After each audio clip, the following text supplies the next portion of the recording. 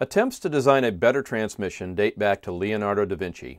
In the early 1900s, Henry Ford sought to invent a transmission to replace the manual shifters in his cars, one that would seamlessly shift and vary infinitely to any gear ratio desired, an infinitely variable transmission. After investing many years and dollars, he deemed the concept to be impossible. The pursuit of a practical, infinitely variable transmission has led to frustration and failure by many of the world's best engineering minds. FOMO, a true infinitely variable transmission, would have made Henry Ford smile. Most current transmissions use energy-robbing clutches, shifting, hydraulics, or friction to change speed. This shows how FOMO can convert the constant input speed from a motor into an infinite range of output speeds without any of these disadvantages. No clunky shifting or uneven speed changes, just a simple turn of the controller and gear ratios change smoothly and infinitely. One great application is for bicycles. A 10-speed bike, for example, uses sets of different sized sprockets in order to allow for changes in the ratio between the pedals and the rear wheel. Most bicycle riders don't think about how complex and inefficient the shifting process truly is. First, you have to be pedaling at a reasonable speed in order to shift gears. You can't change gears without rotating the pedals. During the shifting process, pressure on the pedals must be fairly light to allow the derailleur to push the chain off its current sprocket. The next one to two pedal rotations are wasted while the chain gets derailed and deposited on a new set of sprockets.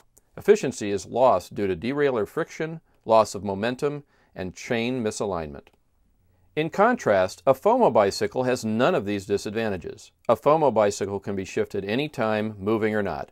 The pedals are always engaged, so there is no loss of momentum or derailleur friction. There are infinite gear ratios available. Never again will the chain come off. Most important, a high degree of the rider's energy gets converted into forward motion, FOMO. The prototype shown was designed for proof of concept. The actual bicycle application will fit neatly inside the rear hub for a lightweight, invisible bike transmission. And believe it or not, if your muscles get tired, you can even pedal backwards and still travel forward. Initial target customers are original equipment manufacturers for motor scooters, wind turbines, and bicycles. Future markets may include manufacturing, motor vehicles, earth movers, and high torque machinery. Estimates have pegged the size of the transmission industry at as high as $214 billion annually. If Henry Ford had had today's technology, he might have invented FOMO.